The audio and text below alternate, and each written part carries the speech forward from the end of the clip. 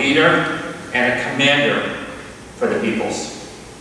See, you shall call nations that you do not know, and nations that do not know you shall run to you, because of the Lord your God, the Holy One of Israel, for he has glorified you. This ends the reading.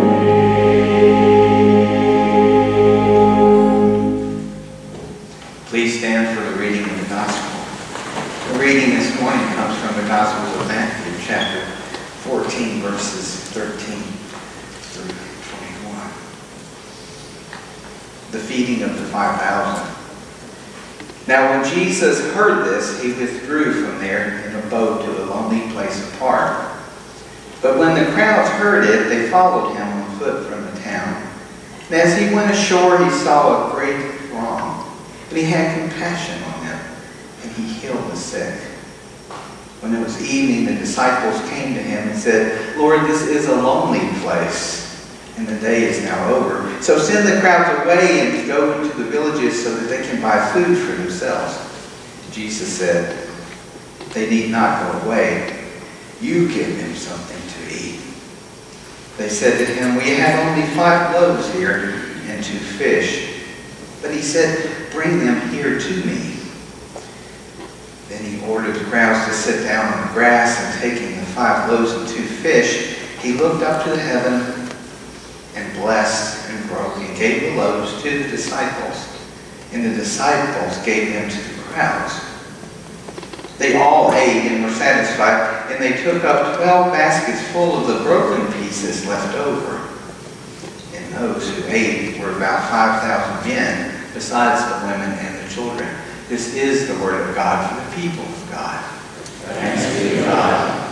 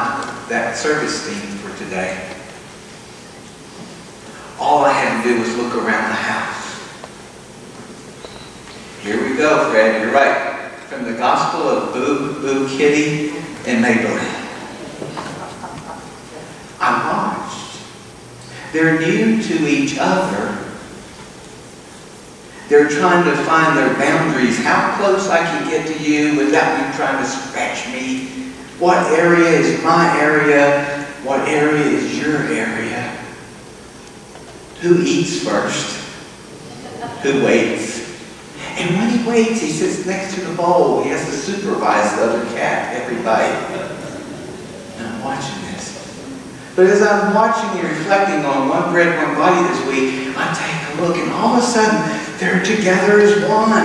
And they're scattered around the house, here and there, darting and together, working together as one in their movement and their grace, like they were dancing together.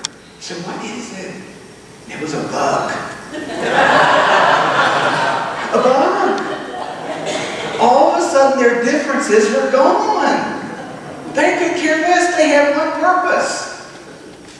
They worked together as one. It was wonderful. Oh my goodness. And for half an hour, they were, they loved each other without reservation and without fear. But they had a common purpose. They had a common purpose. It reminded me when I served a church in Pensacola, there was a hurricane in Tuscaloosa, and it came through, and really destroyed the town. Our community, oh my heavens, the community came together. Our church had a huge warehouse. That was a blessing. For some reason, it became the center of northern Pensacola where people would bring things. Clothes and food and water. People were showing up with U-Haul trucks and vans to carry the stuff up there to help people. They had a common purpose.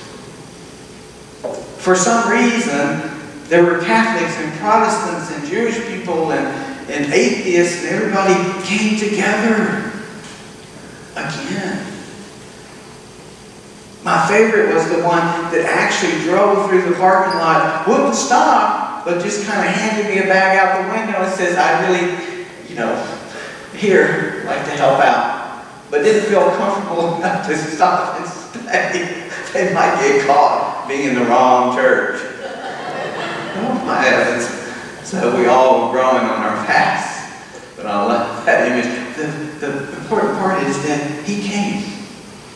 He followed his heart. He became one with the community. As hard and difficult as he fought it. And we do that often too. One bread. One body.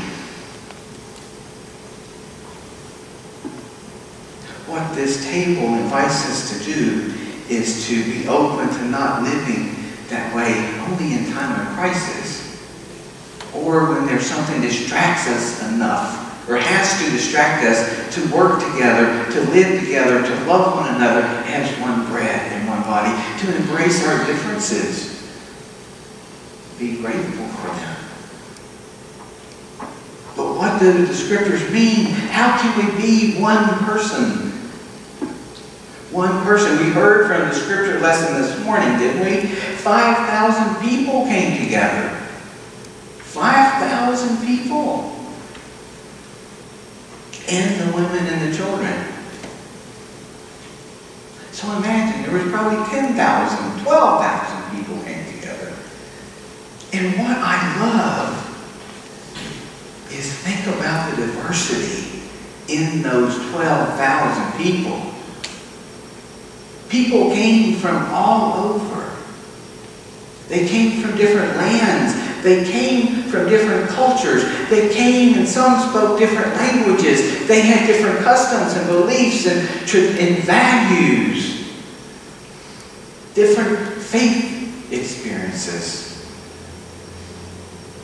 They were different races. All these differences, they came together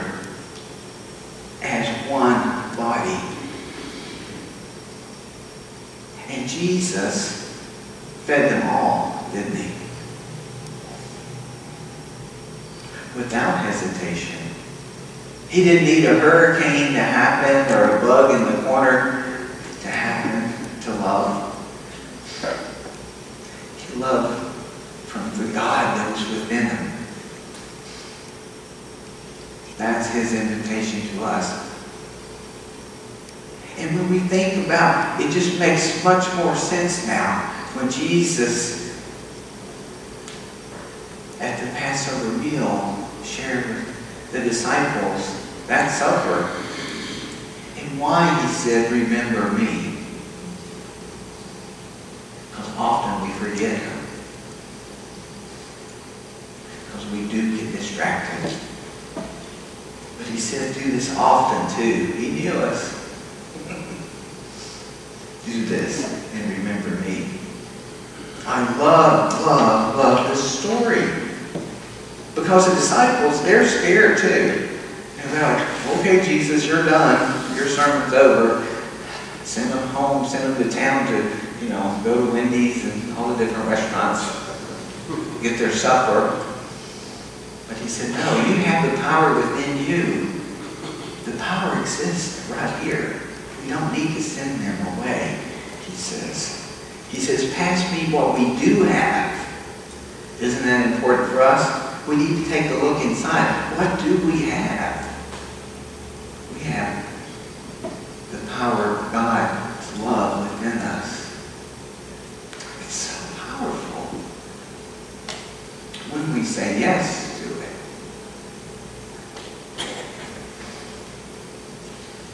We spend so much of our lives looking and searching when it's been there all along. Reminds me of somebody's sparkly shoes. Dorothy, you had it with you all along. Our goal isn't to become one with the divine. Our goal and our invitation is to say yes to the divine within us. It's already there. It's part of who we are, part of who we were created to be. It's nothing we need to look for. God's not lost.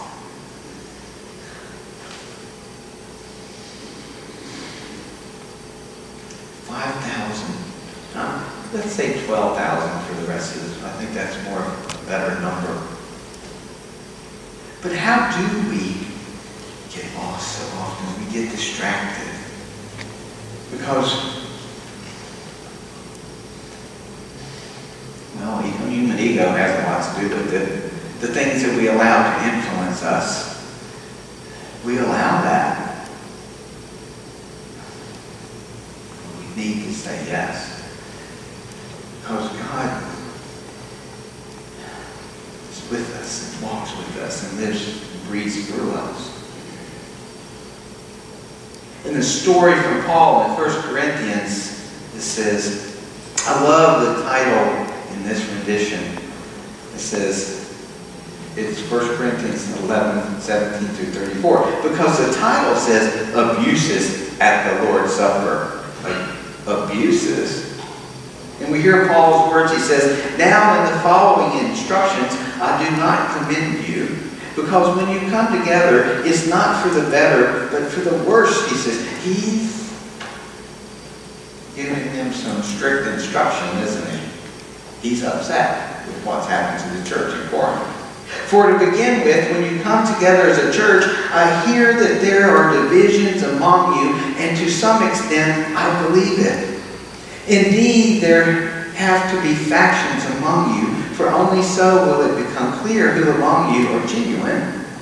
When you come together, it's not really to eat the Lord's Supper. For when the time comes to eat, each of you goes ahead with your own supper. And one goes hungry, and another becomes drunk. What you do not have, what do you not have homes to eat and drink in? Or do you show contempt for the church of God and humiliate those who have nothing? What should I say to you? Should I commend you? In this matter, I do not commend you. Wow. And when I started reading this, I thought about this in the context of he's speaking to the church. You know, he's upset. He sees factions. He sees divisions. Wait a minute, we have 40,000 Christian denominations around the world today. Not churches, denominations. What have we done to the one bread, one body? I used to think. And then I prayed and prayed and said, God said, these are different expressions of who I am. I not agree with some of the theology going on, but I'm called and invited when we partake of this meal that we're all one. And that's the power of God's love. I'm invited to get out of myself into love. That's the invitation of this table. But when I read this, I thought about it's the context of Paul speaking to the church. But look at this in a different way? Individually, how does this text speak to us? Read it like he was talking to you or talking to me.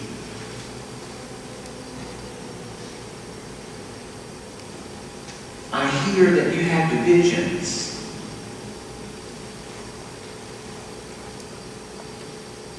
So what is it within myself that I'm allowing to divide, create this distance, this feeling of distance between God and myself? I hear there are divisions. And he says, and to some extent, I believe it. It appears real.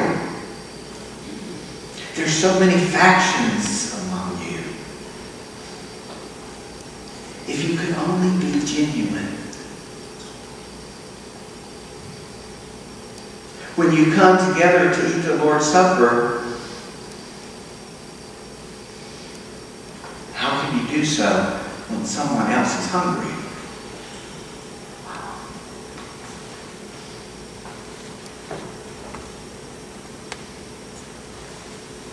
Do you show contempt for God when you do so?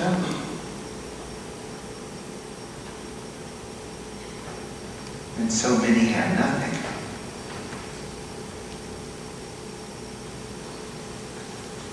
It's a different way to read the text. Invitation.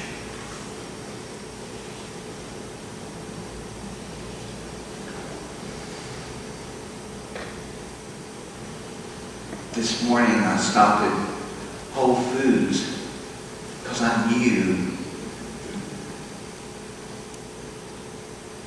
that they would have bread like this.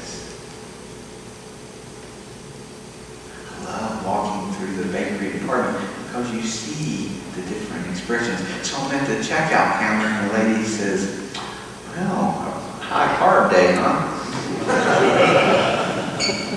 says, no ma'am, it's for communion. Oh, for church, yes. It's the bread that we'll be using on the communion table today.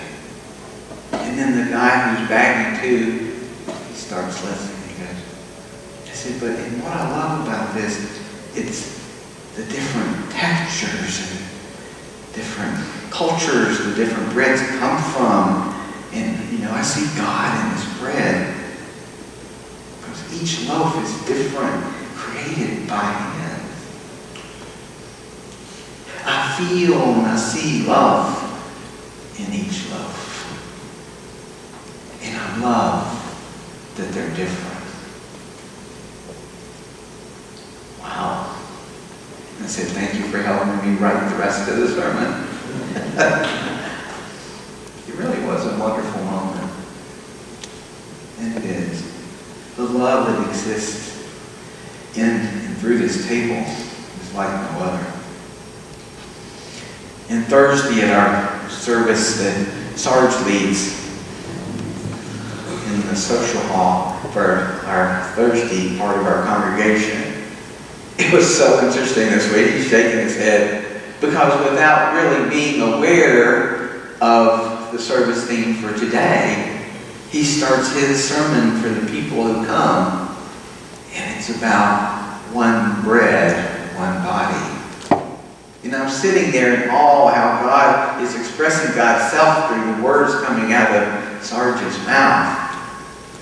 And he gets up there and he reads a 23rd Psalm, but he reads a version that's Native American. He reads a version that's from the different religious and different faiths communities. All have a similar song, 23rd Psalm.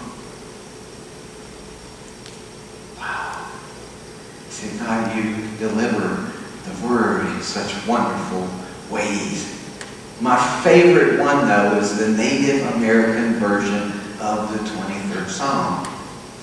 Or maybe our version is the version of theirs. Hmm.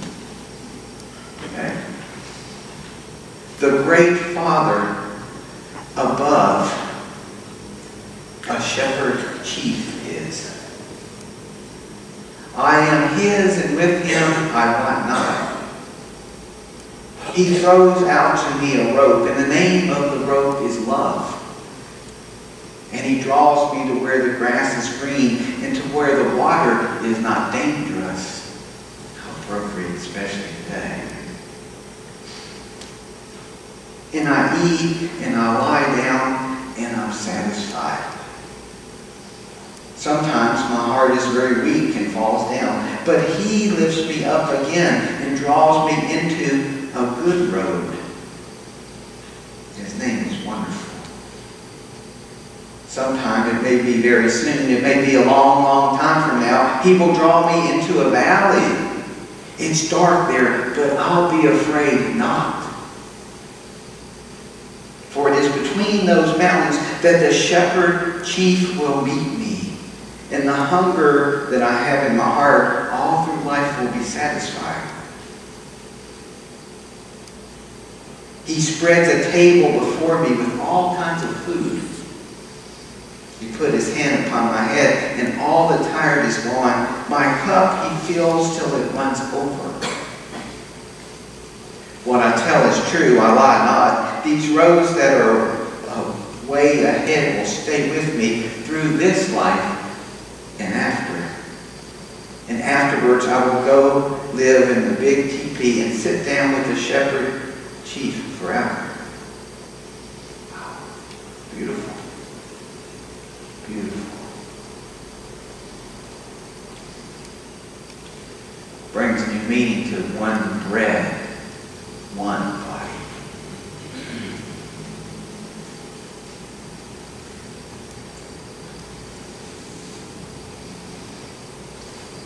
So back to 1 Corinthians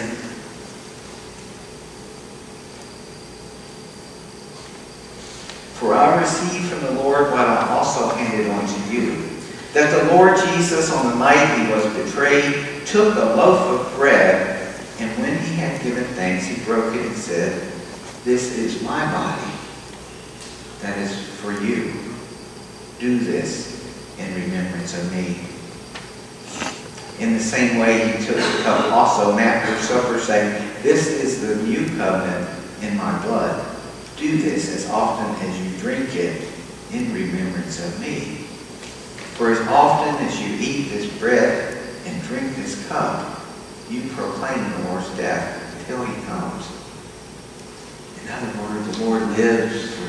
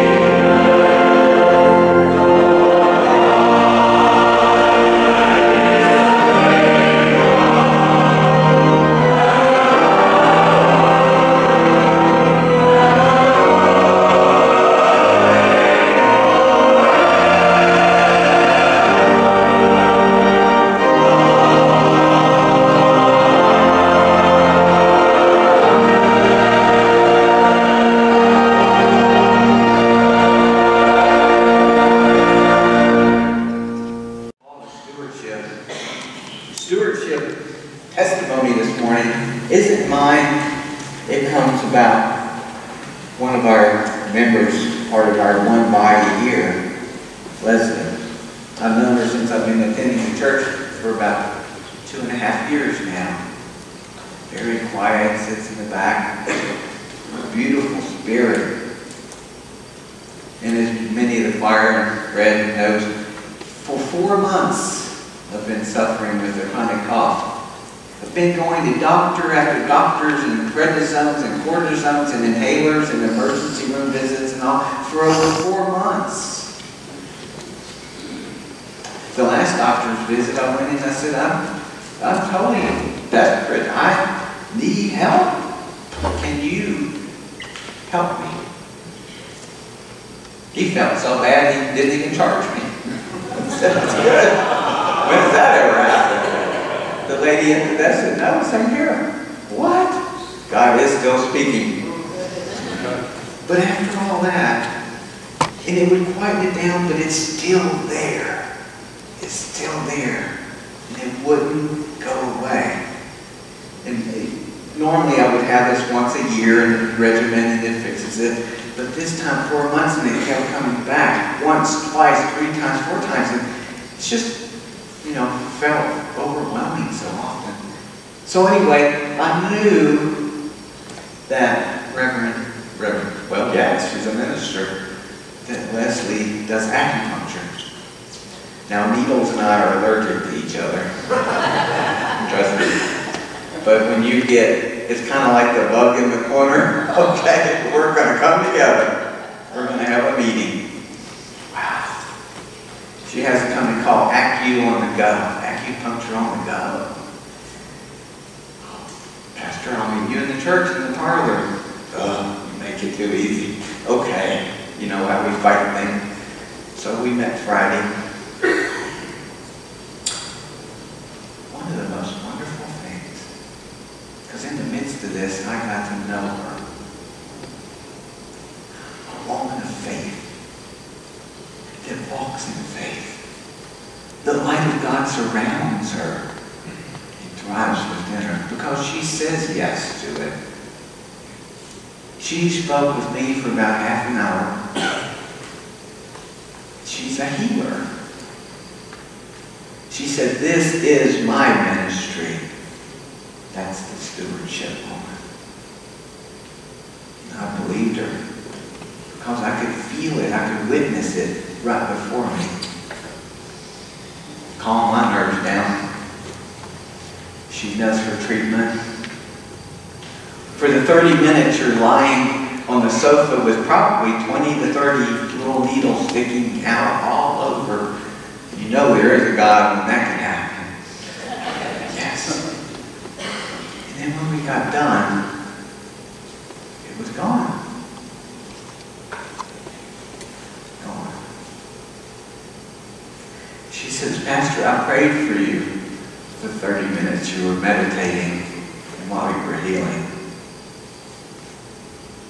She said, I prayed for you. Wow. What a stewardship moment. What if we prayed for one another like that? With belief, with no lack of faith. Pray for the healing, which is already there if we would just say yes to it. That's Leslie's stewardship moment. Bread, one body. Oh, I'm a firm believer in traditional medications, Walgreens and CVS and a relationship. I love them. Go twice a day. But that one bread and body, that was a different expression of God. God providing for me in a different way that made me uncomfortable. I fought it, didn't want to say yes to it. Tried my ways first. And when I tried his way, it worked. Thank you, Dr. Leslie, Reverend Leslie.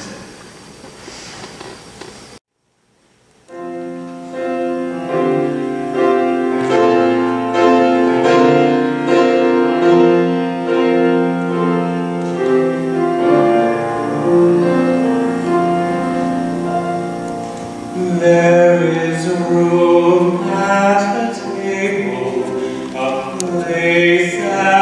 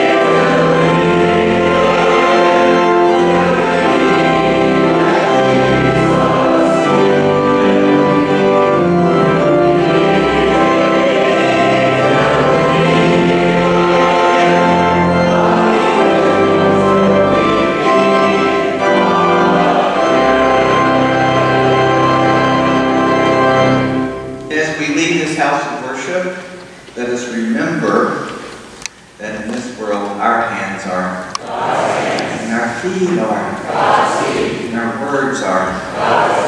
Let us go in peace to both serve and love the Lord.